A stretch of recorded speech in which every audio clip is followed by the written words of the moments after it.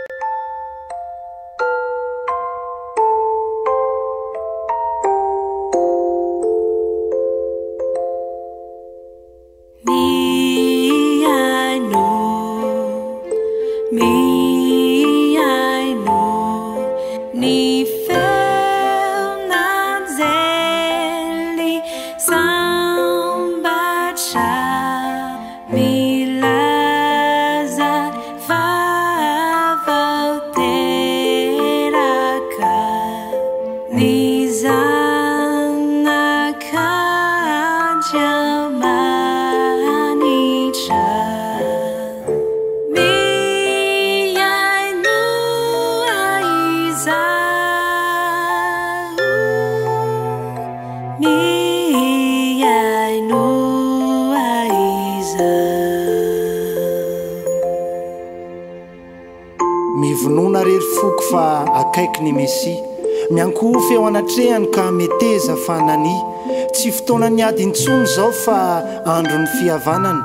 Tiavo ny fahavalo dia ndao hifandray tanana Iharitsen'ilay Mpamonjy ilay fazavan'izao tontolo izao Izy ilay Zanak'ondry teraka hanadio ny fahotanao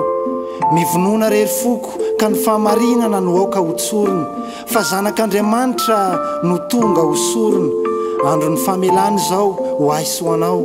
diovy ny fonao handray ity zaza vao, aoka samy ho faly ny lehibe sy ny zaza, andao hitsaoka azy fa ity ilay andro malaza, aoka samy ho faly ny lehibe sy ny zaza, andao hitsaoka azy fa ity ilay andro malaza. Andro malaza.